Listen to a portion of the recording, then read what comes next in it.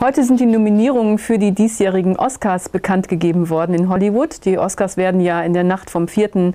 auf den 5. März vergeben. Und als bester Film sind nominiert worden Dunkirk, der letztes Jahr schon im Kino zu sehen war, auch in Deutschland. The Post, das äh, mit dem deutschen Titel Die Verlegerin, der läuft Ende Februar an. Call Me By Your Name, Lady Bird, The Phantom Thread, der läuft auch im Februar an. Es ist der letzte Film, in dem Daniel Day-Lewis zu sehen ist. Und aber auch Shape of Water, das Flüstern des Wassers. Heute erhalten wir ein neues Objekt hier in T4. Das sensibelste Objekt, das wir bis dato in dieser Einrichtung hatten. Ja, erstmal Shape of Water war auch wohl eins der größten Überraschungen jetzt bei den Oscars. Ist insgesamt in 13 Kategorien nominiert. Das ist in der Geschichte der Oscars insgesamt erst zehnmal vorgekommen.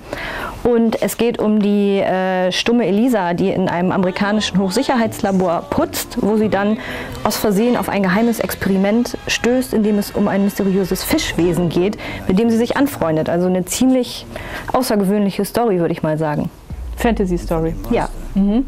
Und Sally Hawkins hat ja auch noch andere Chancen bei den Oscars. Sally Hawkins ist außerdem auch als beste Hauptdarstellerin nominiert, zu Recht, weil es ist meiner Meinung nach eine Rolle, die ihr wirklich auf den Leib geschrieben ist. Und sie hat jetzt gerade auch so ein ja, so einen Lauf hinter sich, würde ich sagen, weil sie im letzten Jahr unter anderem auch die Hauptrolle in dem Film Modi gespielt hat, wo sie eine an äh, Arthritis leidende Künstlerin gespielt hat, die ganz erfolgreich ist, obwohl niemand an sie glaubt, nach einer wahren Geschichte und da wirklich schon ganz wunderbar war. Mhm. Also du würdest dich freuen, wenn Sally Hawkins den Oscar als beste Hauptdarstellerin bekommen würde? Ich fände, sie hätte es auf jeden Fall verdient. Ich meine, die Konkurrenz ist groß. Meryl mhm. Streep ist unter anderem auch nominiert, aber die hat schon drei Oscars. Ja.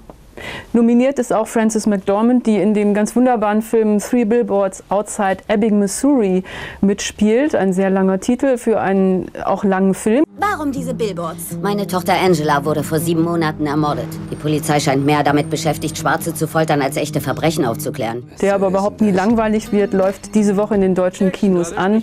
Eine sehr schwarzhumorige Geschichte um eine Mutter, die drei äh, alte Werbetafeln mietet, Three Billboards, die sich ähm, bei Ebbing, Missouri befinden und da darauf hinweist, dass äh, ihre Tochter, die vor sieben Monaten vergewaltigt und getötet wurde, dass da immer noch keine Täter gefunden wurden und daraus entspinnt sich ähm, ein kleiner Kampf in der Stadt mit der Polizei und anderen Anwohnern und Francis McDormand spielt das wirklich ähm, ganz toll, ein bisschen John Wayne-artig und ähm, mal verletzlich, mal unglaublich wütend. Überhaupt spielt Wut in diesem Film eine ganz große Rolle. Und der Film, der bei den Golden Globes schon sehr viel abgeräumt hat und auch bei den Critics Awards, hätte es auch extrem verdient und ebenso auch Francis McDormand.